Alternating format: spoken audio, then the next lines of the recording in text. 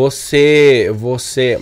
Já, já peguei que a tua energia é essa, é a energia do carão mesmo, de sei lá, conversar, fazer o contato, ter o, ter o bom contato.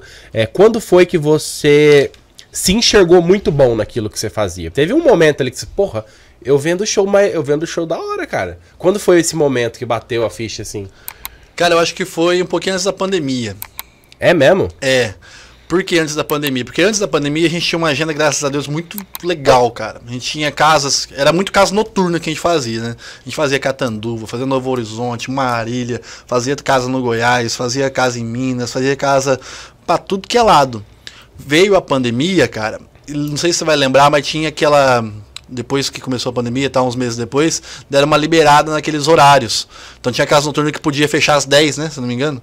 Acho que era às 10 da noite. Aí começava meia tardezinha e fechava. Cara, eu dei entrevista pro Folha de São Paulo nessa época. De tanto show que você tava vendendo. De tanto show que a gente fez, cara. Na época a gente fez Loubé, Cleito e Romário, Dailara de novo, Jefferson Moraes, Fred, já com Fred Fabrício, acho que fez. Juan Marcos e Vinícius, a gente fez. Quem mais, cara? Fez muita gente. Mas peraí, como que você tem o contato de todo mundo? É porque vocês trabalham tudo junto, sem ter uma parceria? Cara, o mercado é enorme. O mercado sertanejo é muito grande, movimenta muito dinheiro. É, tô ligado. Se Só que o mercado é pequeno. Top, se você entrar no Top Brasil hoje, dá 100 músicas, 95 é sertanejo. Sertanejo. Só que o mercado, o mercado em si, a galera que mexe, é muito é bem pequeno, todo mundo se conhece, entendeu? Uhum. Então hoje, graças a Deus, não tem uma atração sertaneja que eu falo, não, essa não trabalha. Trabalha com todo mundo.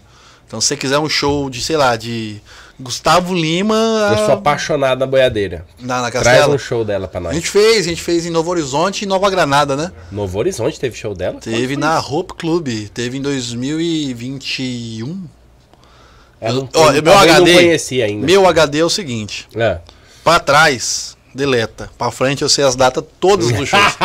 o meu HD também é todo quebrado. A Carol ajuda mais eu com as minhas datas do que. Outro dia eu perguntei pra que dia que era meu aniversário, brincadeira. Mas fez, a gente fez a produção lá na Castelinho. Você tava, né? Em Novo Horizonte, depois fizemos em Nova Granada, da boiadeira.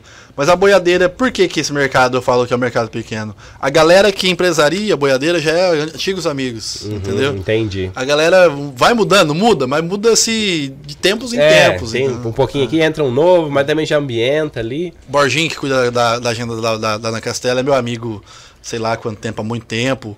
O Rodolfo Alessi, que é um dos empresários, é meu amigo há muito tempo, entendeu? Muito tempo, muito tempo. A história que eu falei de Londrina do bar, por exemplo, foi quando eu fui em Londrina a primeira vez. Conheci o Rodolfo lá.